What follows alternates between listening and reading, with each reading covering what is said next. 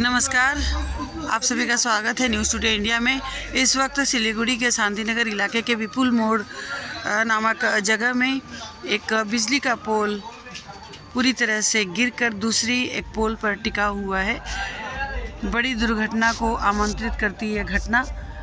ऐसे में इलेक्ट्रिसिटी विभाग को खबर दे दी गई है। वो यहाँ पहुँच भी गए हैं। हम दे सकते हैं कि वो बातचीत कर रहे हैं। मैं आपको दिखा नहीं पा रही हूँ क्योंकि रात का समय है। लोग सभी अपने घरों में सो रहे थे कि अचानक से एक बड़ी सी आवाज़ हुई। ये पोल हल्की सी देखिए, आपको दिखा दूँ मैं। ये इस तरीके से एक दूसरे पोल पर टिका हुआ है। लोगों में आतंक का माहौल। क्या होगा, नहीं होगा, इसे लेकर कि कैसे इसे ठीक किया जाएगा? पूरा इलाका अंधकार में डूबा हुआ है।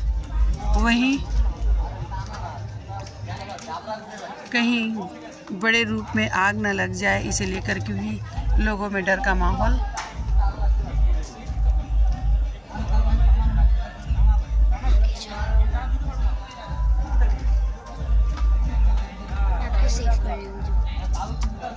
स्थानीय लोग सभी यहाँ एकत्रित हो चुके हैं। बिजली विभाग के लोगों से बातचीत की जा रही है कैसे क्या किया जाए। आप देख सकते हैं कि किस तरीके से बिजली के पोल से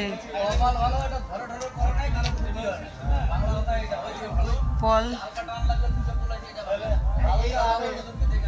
टिका हुआ है दूसरे पोल के ऊपर।